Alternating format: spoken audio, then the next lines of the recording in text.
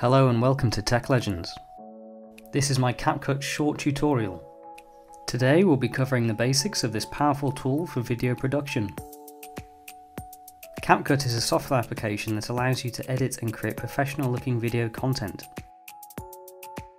With its intuitive interface and wide range of features, it's perfect for anyone looking to take their video production to the next level.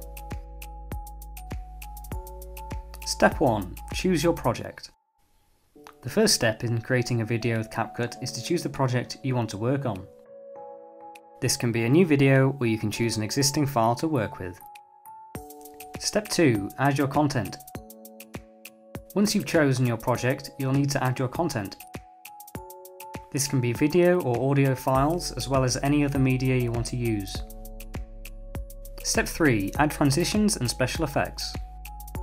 Next you'll need to add transitions and special effects to your video.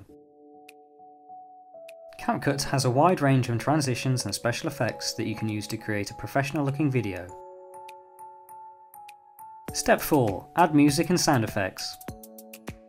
Once you've added your content and transitions, you'll need to add music and sound effects to your video. CapCut has a library of royalty-free music and sound effects that you can use to enhance your production quality. Step 5. Publish your video. Finally, you'll need to publish your video.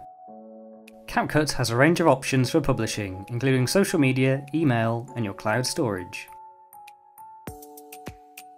CapCut is a powerful tool for video production that can help you create professional looking videos in a matter of minutes.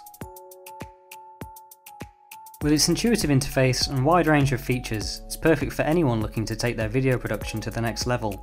Thanks for watching.